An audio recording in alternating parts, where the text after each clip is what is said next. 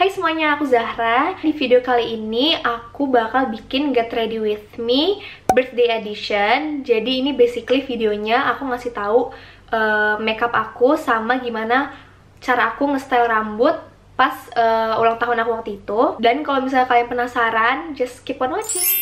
Jadi pertama-tama aku pakai serum ini dari Varsali yang Unicorn Essence. Jadi aku pakai aja kayak dikit aja sih sebenarnya kayak di sini ups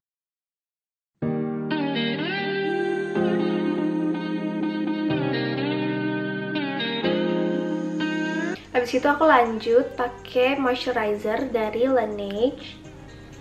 Ini yang apa sih water bank ya kalau nggak salah. Ini yang water bank yang gel cream.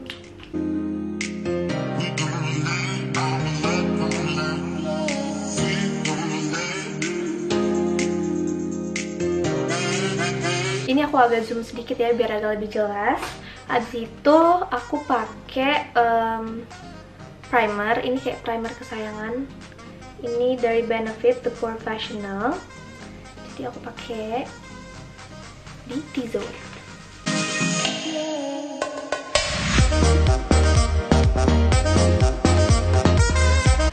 pakai primer, aku pakai foundation. Ini foundationnya dari Hourglass yang Veil, Veil something apa sih namanya? Pokoknya yang vanish, apa Veil, apalah nggak tahu namanya. Pokoknya ini. Ini kayak stick foundation gitu. Ini foundationnya kayak terkenal banget dan emang bagus banget. Kayak bikin nggak ada pori-pori.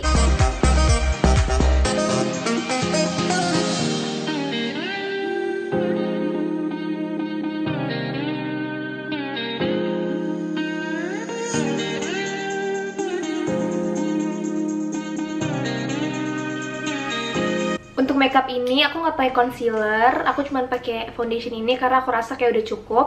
Tapi aku bakal nambahin dikit uh, foundation ini di ini ada kayak pimple gitu, biar agak tutup.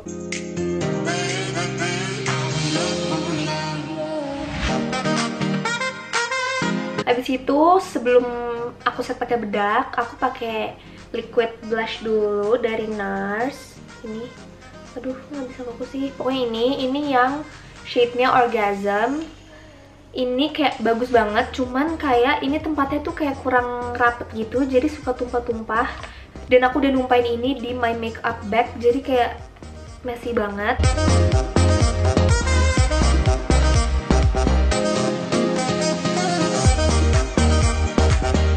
Abis pakai liquid blush, aku baru ngeset my makeup pakai bedak dari Chanel yang universal powder itu. Jadi ini uh, bedak tabur gitu. Dan ini bagus banget. Kayak udah dapet puffnya gitu. Jadi kita tinggal ngambil produknya dari sini, terus pakai pakai puffnya.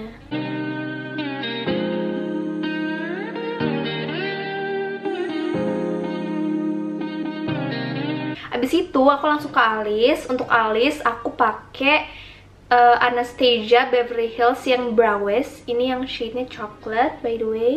Oke okay. dan ini kayak my favorite fokus uh, this is my favorite kayak brow pencil gitu.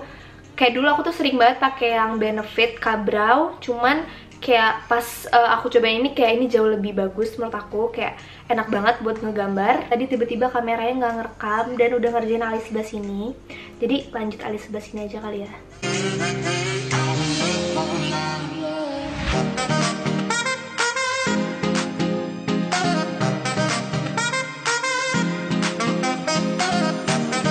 nggak bakal bisa samain alis aku nggak tahu kenapa emang nggak bisa. Jadi kayak ya alis aku emang beda so it's okay.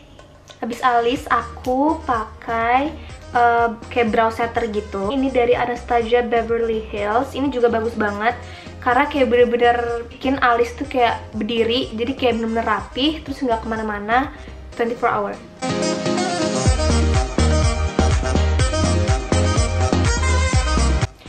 kalis aku lanjut ke bronzer. Dan untuk bronzer aku pakai dari Hula dari Benefit.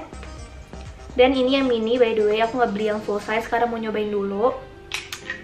Dan ternyata bagus. Dan nyesel nggak beli yang full size.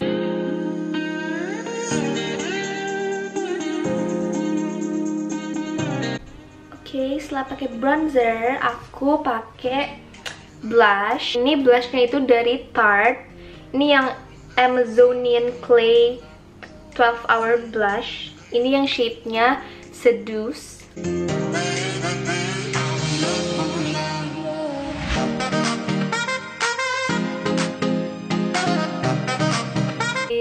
Apa sih namanya habis blush aku pakai highlighter. Ini highlighternya dari Fenty Beauty. Ini yang shade-nya Min Money sama Hustler Baby.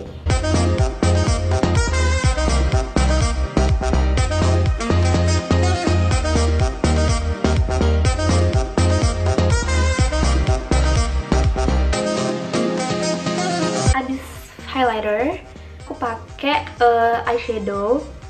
Ini yang Too Faced Peach apa sih? Too Faced Just Peach Matte. Jadi ini kayak satu palette gitu isinya cuman kayak matte matte apa matte matte isinya cuman eyeshadow yang matte doang. Ya aku pakai cuman sebenarnya kayak dikit banget gitu. Aku pakai buat kayak ngasih sedikit definisi di mata biar agak kelihatan kayak gitu. Nggak tahu itu barusan apa. Yang fresh picked this one. Dikit bener kayak dikit sama yang peach tea. Gitu. Dikit banget kan terus kayak di tap off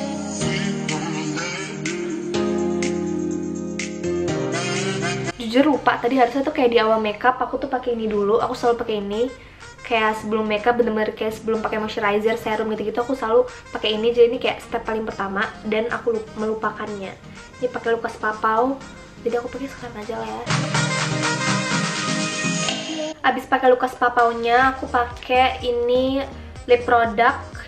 Ini mbaknya ini shade-nya yang 491 ini kayak my favorite banget loh ini kayak enak banget nggak bikin bibir kering terus ini juga uh, long wearing dan warnanya bagus banget dan natural.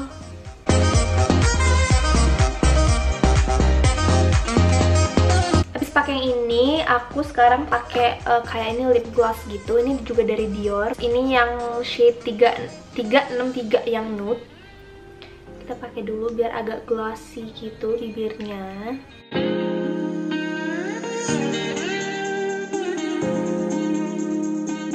dan last step banget aku pakai ini, ini setting spray dari MAC. Ini uh, MAC Prep and Prime Fix Plus. Jadi aku langsung semprotin aja ini ke seluruh muka. By the way karena aku pakai eyelash extension aku nggak pakai mascara. Dan aku lupa aku menyisir dulu my eyelash extension dan buat yang nanya, aku itu eyelash extension di The Eye Studio. Jadi untuk makeupnya gini aja, kayak simple banget. Tapi abis ini aku mau uh, ngasih tahu gimana cara aku nyatok. Pertama aku bakal nyisir dulu. Aku nyisir biar nggak kusut dan nyatoknya lebih enak aja. Ini dia catokannya yang aku pakai. Ini catokannya dari GHD ini dinyalain dulu dan nunggu kayak cuma beberapa detik langsung panas jadi suka banget sama ini terus juga nggak uh, nggak terlalu ngerusak rambut gitu loh tuh tuh udah bunyi artinya udah panas jadi aku bakal bagi kayak gini ini habis itu diikat dijepit dijepit pakai jedai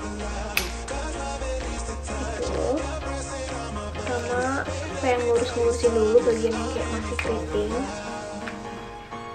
Eh by the way aku ngeliat uh, kaca sebelah sana. Karena nggak kelihatan. Kalau ngeliat sebelah sini kurang jelas. Dan aku kayak ngambil segini-segini gitu rambutnya. Biasa tuh aku nyato kayak selang-seling. Misal ini bagian depan aku selalu nyato kayak gini. Ya. Kayak uh, curlnya tuh keluar gitu. Kalau yang untuk bagian depan biasanya aku kayak curlnya ngadepnya ke sana gitu. Jadi ini aku kurang bisa jelasin sebenarnya cara aku nyatok. Jadi kalian bisa lihat sendiri aja caranya. Ini dia gitu. Putar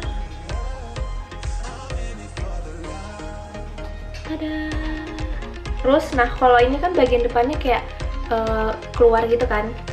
Nah yang bagian ini berarti section selanjutnya itu keritingnya ke dalam. Jadi basically cuma kayak selang-seling. Berarti nanti ini uh, keritingnya keluar ini ke dalam terus nanti next sectionnya keluar ke dalam gitu gitu terus. Biar kayak rada apa ya biar nggak teratur aja. Karena kalau teratur banget kayak malah kaku gitu. Kalau untuk yang ke dalam ngediginiin terus diputer gitu. Terus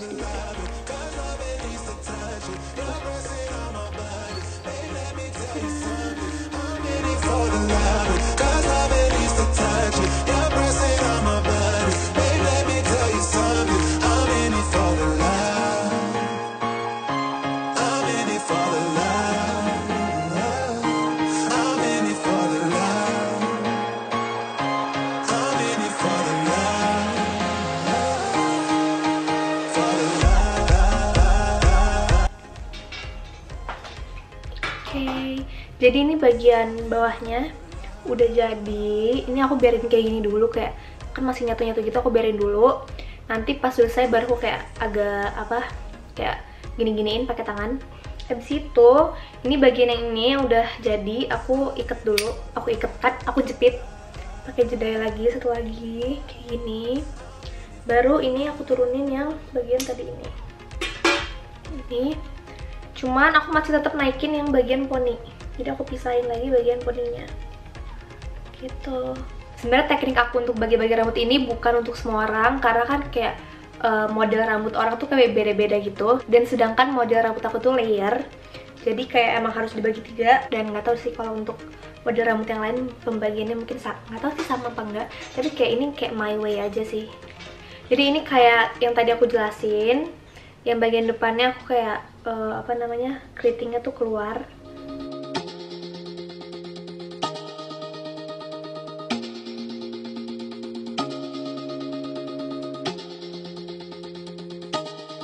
sekarang bagian terakhirnya bagian poni.